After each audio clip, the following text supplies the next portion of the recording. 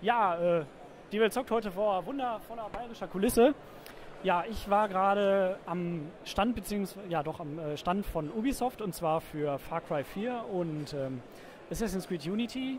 Äh, fangen wir vorne an. Äh, Far Cry 4.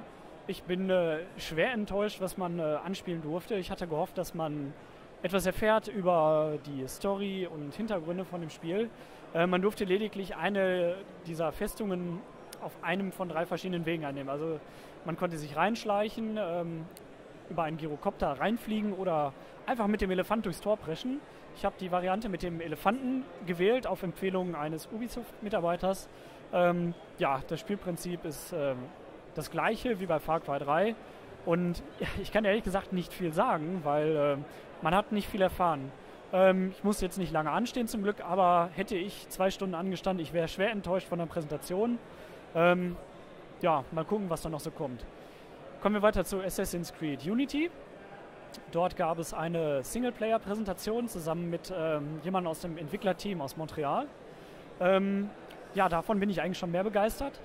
Ähm, man konnte eine Singleplayer-Mission sehen rund um die Kirche von, äh, nicht um die Kirche, aber um Notre Dame, die größte Kirche Paris.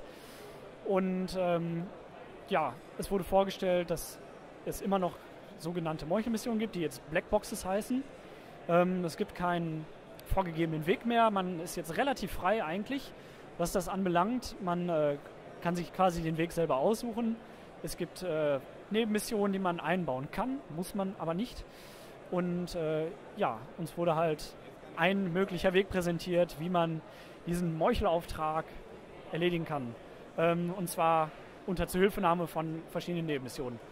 Ich bin, äh, wie gesagt, begeistert. Sehr schöne Grafik. Ich bin gespannt auf das Setting, nämlich Paris zur Zeit der Französischen Revolution.